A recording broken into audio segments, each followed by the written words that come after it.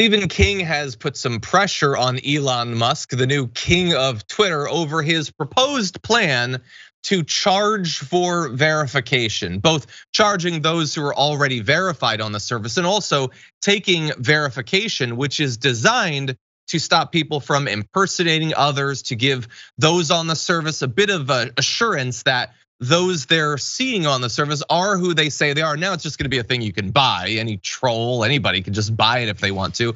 Well, Stephen King is not a fan of that. He tweeted $20 a month to keep my blue check. F that. They should pay me. If that gets instituted, I'm gone like Enron, which I kind of like. Um, anyway, we're gonna jump ahead to Elon Musk, who did reply to the horror novelist saying, we need to pay the bills somehow. Do you? You've got hundreds of billions of dollars. I feel like you could foot that cost if you really want to. Goes on to say Twitter cannot rely entirely on advertisers. How about eight dollars?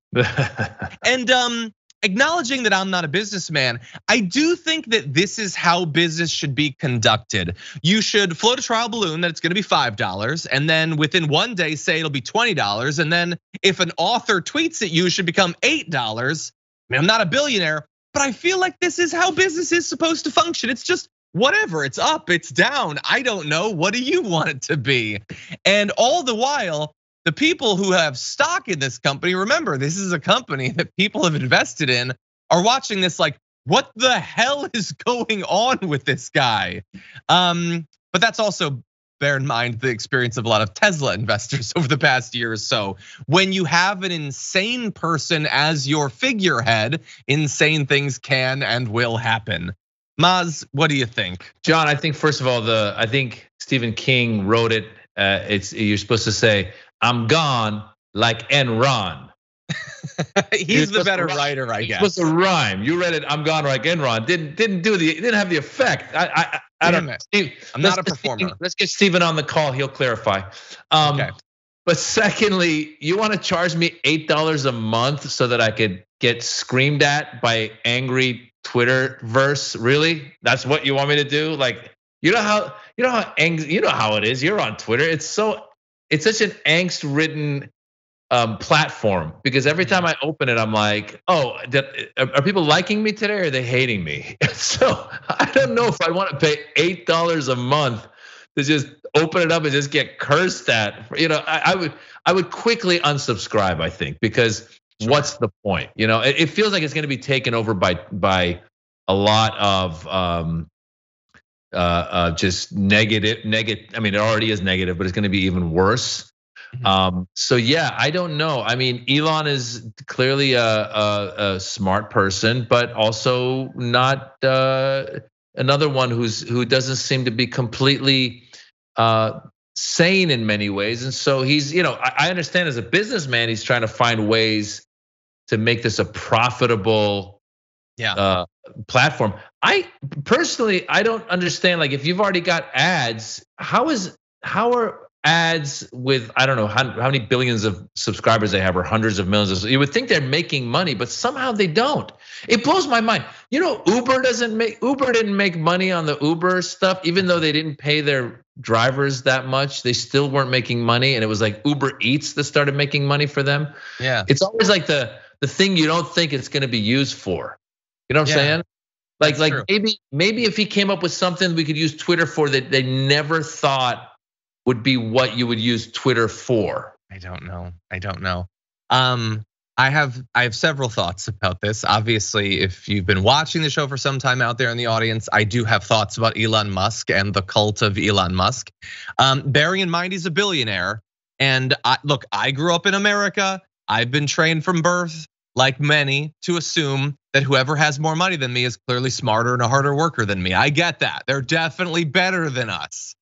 But um, Maybe he's also an idiot. Have you considered that? I mean, look, I get that he took over Tesla. I would really like it if you were watching this and you think that Elon Musk is a genius. I would love you to really look into that thought. Do you believe that he's tightening bolts on the assembly line?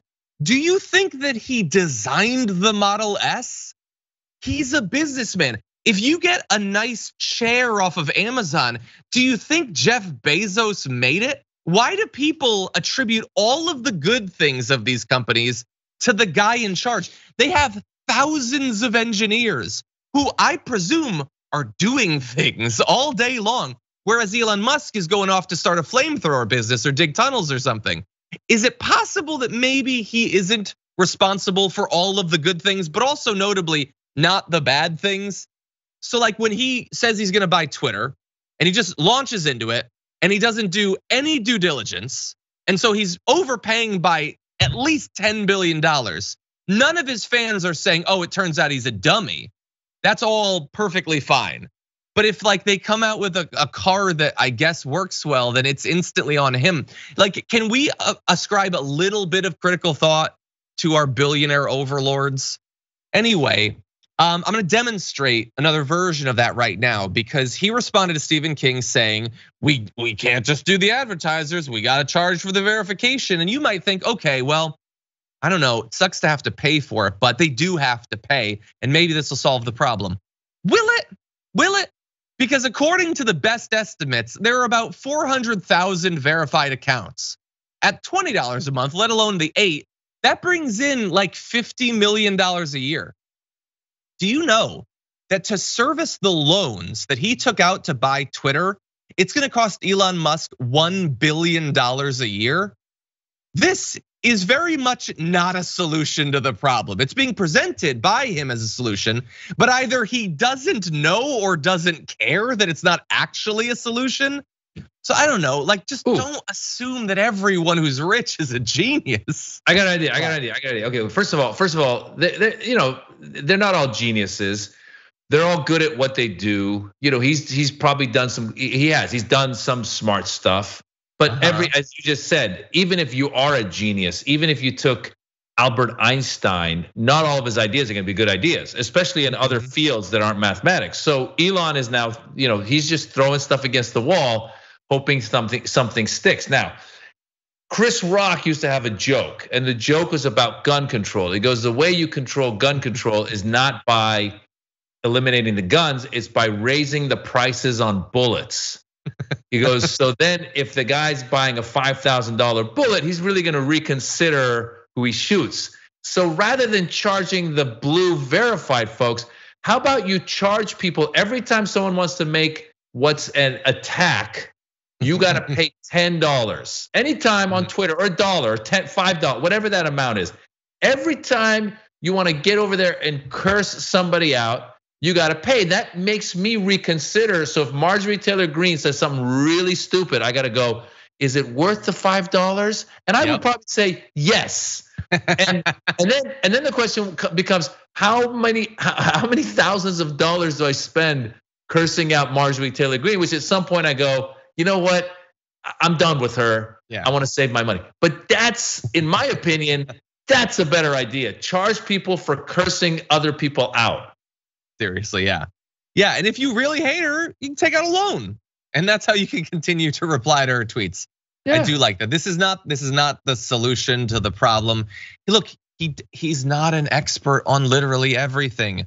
Running Twitter is difficult. You know how I know that? Because Twitter couldn't really do it for literally years. The idea that this guy is going to jump in and solve all the problems by just randomly coming up with ideas off the top of his head based on whatever a popular novelist has most recently said at him, it's probably not gonna work out. We'll see. I don't really care. Twitter dies, that's fine. Yeah. Um, but anyway, we'll we'll have to see.